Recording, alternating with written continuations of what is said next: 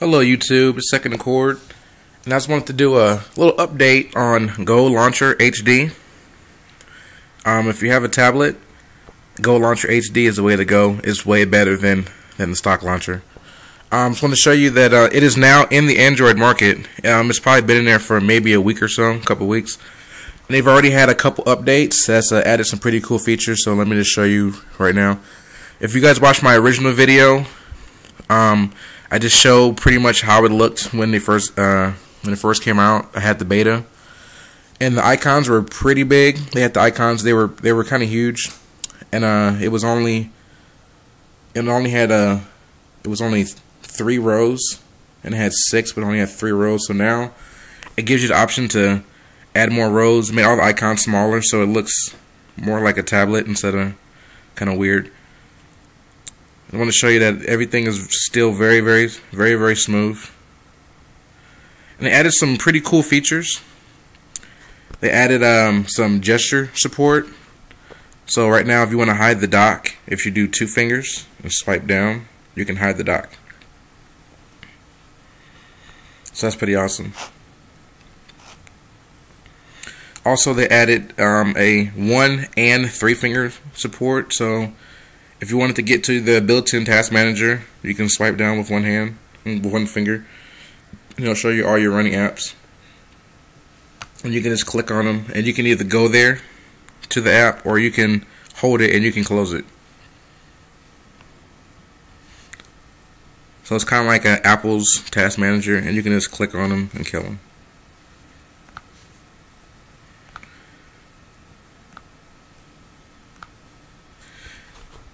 They also added some uh, some preferences. They added the ability to change the, the grid size.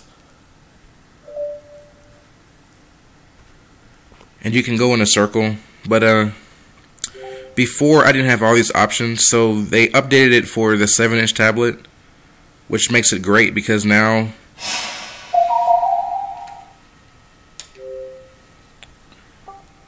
because now um, it's just it works out a lot better. Rotation is still there. The rotation seems faster now that I have Go Launcher as opposed to the stock Honeycomb launcher, which I complained about before when I did my review on this tablet. Is the rotation was extremely slow, but now it is a lot faster.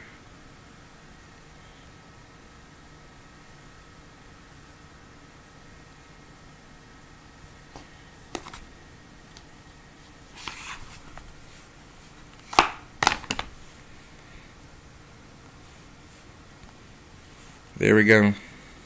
App drawer. You can arrange these. You can put these in a up to I think a five by seven grid. You still have the ability to uh, download Go Launcher widgets, which are Go widgets. Um, that functionality is a little weird because the widgets are huge. And maybe it just might be just because of the size of this tablet. But uh, most of these widgets are like 4x4, 4x3 widgets. And since my screen is only 4x6, the widget takes up half the screen. So I have to make a new screen. Also, you can pinch. I don't know if I showed you this before. You can pinch and get to all of your screens. And you can add new screens if you want to. You can reorder your screens. So you can put them in any order that you want to and you have the ability to change which one is your home screen just by hitting the little green button there. And you still do have the ability to make folders.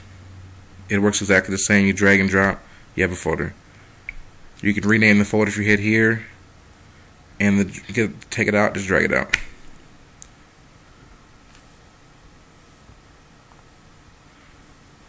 But alright, if you like this video, please up. You have any questions, comments, please leave in the comment section below.